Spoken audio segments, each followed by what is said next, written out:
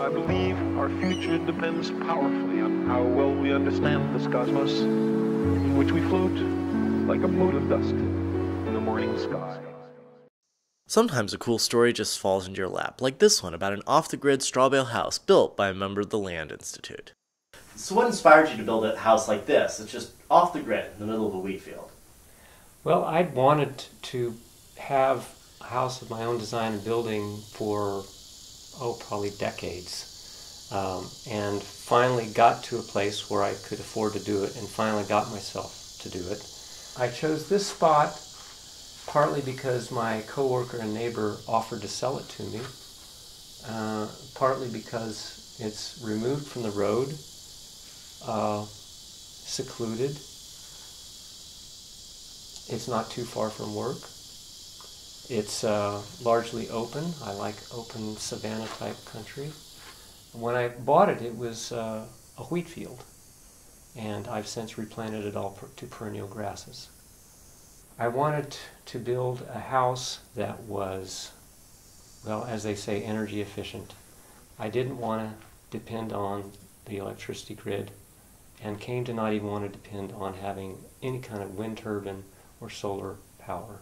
I began living in a house to just start turning things, a house with electricity, just, just start turning things off. I didn't just plunge into this and came to realize that it's not, it doesn't seem to me at least, that difficult to do without these sorts of things. Uh, what are the, the, the features, the ecologically conscious features of this house that allow it to operate off the grid without any electrical input whatsoever?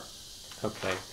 First, I think I should admit the not so ecological features. The roof is steel, uh, but I should never have to replace it, and it's recyclable. Mm-hmm. Um, I do have glass windows with vinyl frames.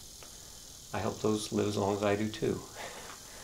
Uh, they're very energy efficient. They're double paned. And I can start with that. The south windows are oriented in relation to the long over, overhang of the roof so that in the middle of winter, actually from solstice to solstice, sorry, equinox to equinox, I've got direct sunlight coming in these windows. In the middle of winter, it's coming pretty much the whole length of the windows. And I've got it oriented the glass coatings oriented so that it actually emits more light, I'm sorry, more energy than most people arrange in their homes. The north windows are more the norm where they're built to retain what's in the house. The south windows are oriented with the coating reversed so that they'll actually emit more heat. Uh, so I can rely more on passive solar heating in the winter.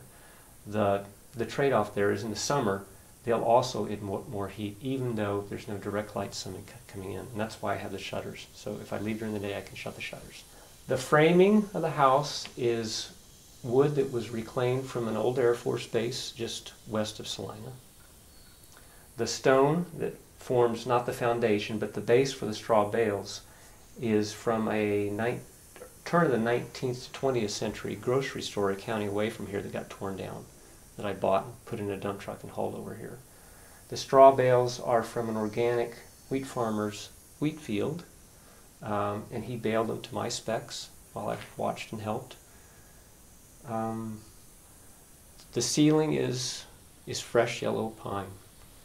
Uh, the floor, which you can't see in this picture, will be largely the same material that I used for the walls, which is a plaster made of my local heavy clay soil mixed with sand that I dig up from another location near here, and horse manure, which acts as kind of a binder, like miniature rebar, and plastered on. The white is whitewash, which is uh, does take some fossil fuel to make, but if I can judge by the cost of it, uh, it might take much less than regular paint. It's very cheap stuff. So the vast majority, majority of the materials are very local, and this is something you've more or less built yourself. I've built most of it myself in terms of man hours. Uh, the big things like putting up the structure, I had help with my family. Putting up the roof trusses, I had help from my friends. Putting the roof sheets up there, they were lifted up to me by friends. But terms of man hours, it's mostly mine. Now, how would you judge the difficulty of creating a structure like this compared to a conventional dwelling? Well, um, I've never built anything uh, that you could live in other than this. Uh, nothing even close to it. So I can't say for sure, but I will say that straw bales um, have a lot of difficulties involved. And if I had to do it over again, I probably would build with wood and insulate it some other way. The bales themselves are easy to stack like bricks, but the plastering of them uh, took me months.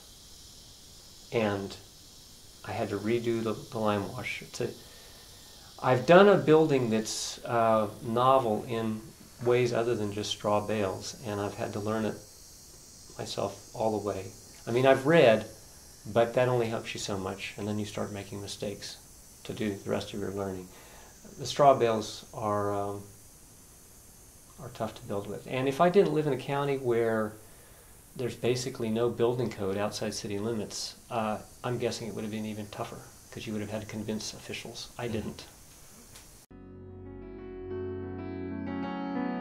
The sky calls to us. If we do not destroy ourselves, we will one day venture to the stars.